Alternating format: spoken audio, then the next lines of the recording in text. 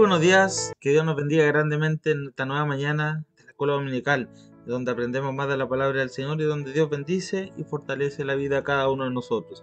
Recordemos que estamos estudiando el libro de Primera eh, Timoteo. Hoy día la lectura de hoy nos corresponde el capítulo 6, de los versículos 11 al 16.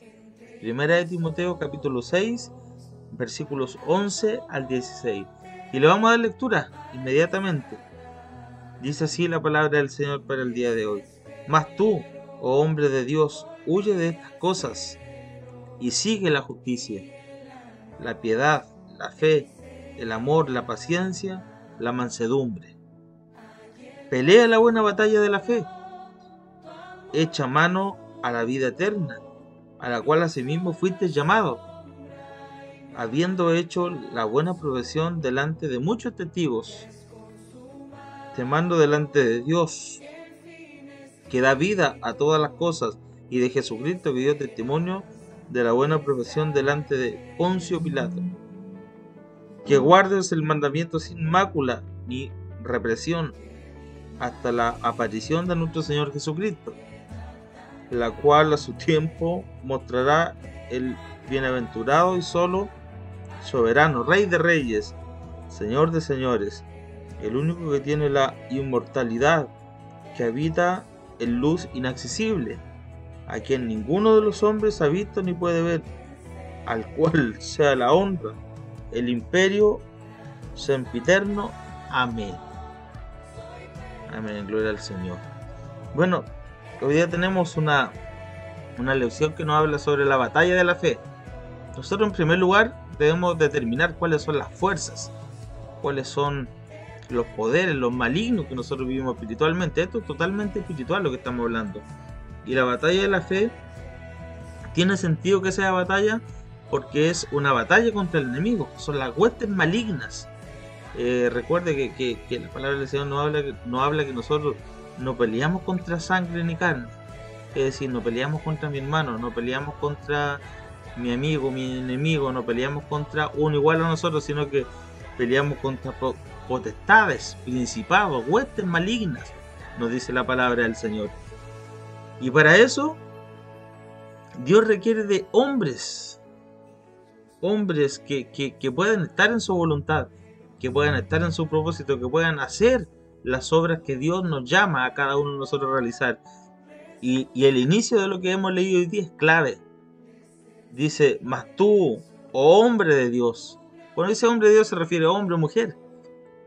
Mas tú, oh hombre de Dios.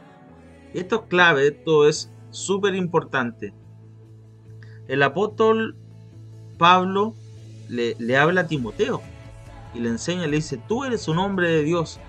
Y le enseña y le dice, ¿por qué eres un hombre de Dios? Porque Dios cambió tu vida.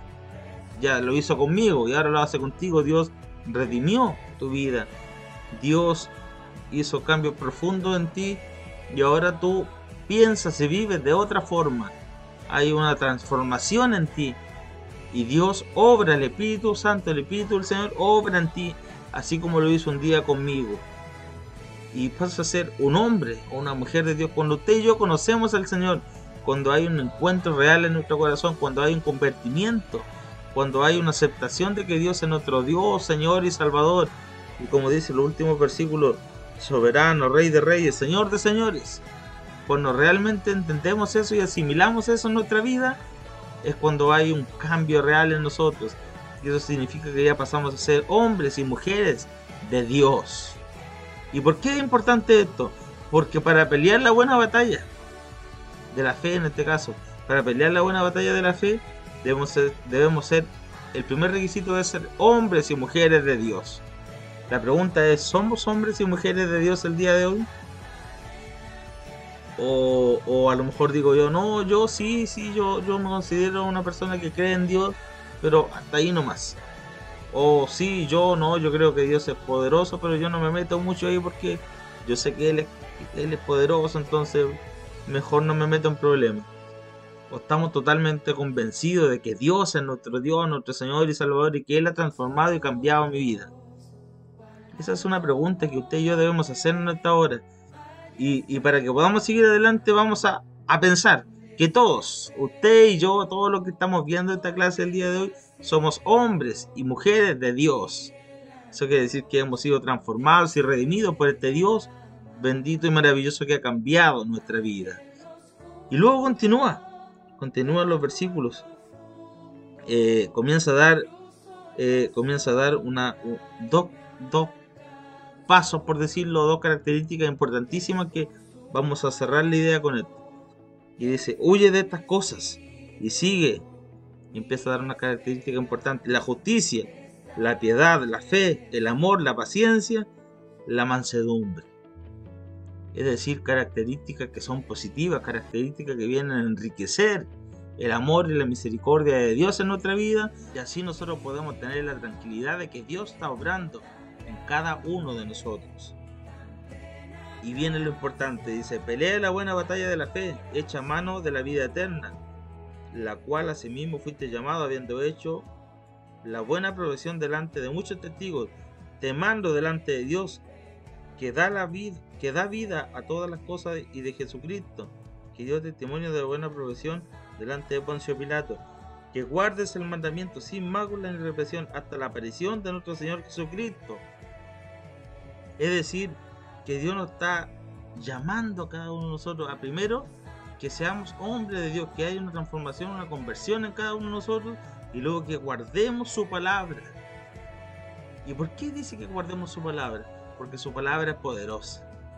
Porque su palabra, eh, recordemos que es como una espada de doble filo que donde está va a ser obra. Donde está va a tener alguna transformación, alguna conversión. Donde esté va a traer algún resultado y siempre va a ser positivo y de bien para el hombre y la mujer, la cual a su tiempo mostrará el bienaventurado y solo soberano, Rey de Reyes, Señor de Señores, el único que tiene inmortalidad, que habita en luz inaccesible, a quien ninguno de los hombres ha visto ni puede ver, el cual sea la honra, al cual sea la honra, el imperio sempiterno para siempre. Amén. En otras palabras, lo que nos quiere decir la palabra del Señor en esta hora, lo que, le, quiere decir al apóstol Pablo a Timoteo, le dice, tú debes ser un hombre de Dios. Y para ser un hombre de Dios hay dos cosas importantísimas que las dice en el, en el mismo versículo 11. Primero dice la palabra huye, huye. ¿Y de qué tiene que huir el hombre? ¿De qué tengo que huir yo? ¿De qué tiene que huir usted? Del pecado, de la maldad, de lo, de lo que está en contra de la palabra del Señor, lo que viene a entorpecer nuestra relación con el Señor, lo que viene a, a debilitar nuestra fe, lo que viene a quebrantar nuestra vida espiritual, huir de todo lo que nos hace mal, huir de todo lo que nos acecha, de todo lo que nos atormenta, de todo lo que es peligroso para nosotros espiritualmente, huir, eso es lo primero. Y luego nos dice la palabra, sigue, que es lo que debemos seguir todas las características que nos da el versículo 11, pero además de eso debemos seguir la palabra del Señor, que ahí encontramos la fuente a todas nuestras respuestas, a todas nuestras inquietudes y todo lo que debemos hacer. Y de esa forma Dios va a bendecir, fortalecer y, dar una fuerza maravillosa para que peleemos la buena batalla de la fe creyendo que Cristo, el Señor Jesús, Rey de Reyes, Señor de Señores, como dice su palabra, va a estar con nosotros en todo momento en todo lugar, en todas circunstancias, vamos a ser fortalecidos y bendecidos por nuestro buen Dios. Que Dios nos bendiga grandemente en esta hora.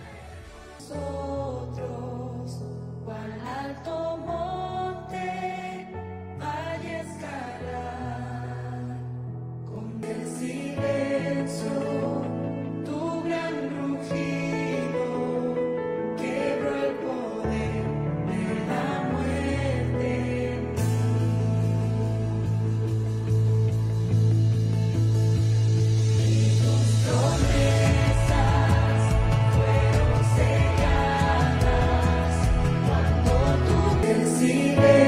Jesus.